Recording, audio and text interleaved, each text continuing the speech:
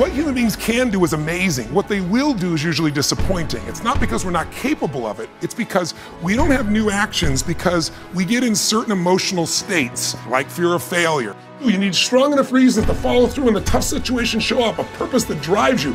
But I can't control that. You can.